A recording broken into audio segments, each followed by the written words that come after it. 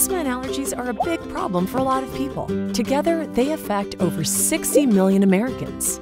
A lot of people know about air quality when they think outside, but they don't know about or don't think about the air quality in their own home. And the EPA tells us that air quality in your home can be up to 10 times worse than the air quality outside. And because of all the triggers in your home, allergy season isn't just spring and fall, it's year round.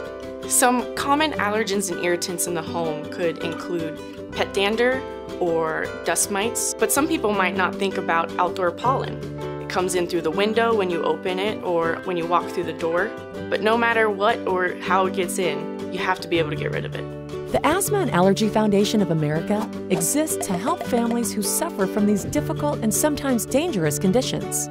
About 10 years ago, our foundation created a program we call the Certified Asthma and Allergy Friendly Certification Program. So we developed a written protocol and a standard that we then take to the laboratory and we test products against these standards. So we'll take a cleaning product, we'll assess its chemical makeup, we'll assess its airborne gas concentration, we'll assess whether or not it actually can remove allergens or irritants from the home.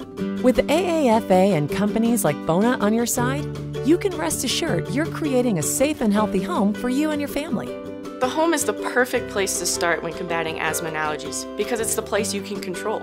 You can't control the weather and you can't control pollen counts but you can regularly clean the largest surface in your home, the floors. Look for Bona's free and simple hardwood floor cleaner at your nearest retailer to help ensure a healthier home for your family.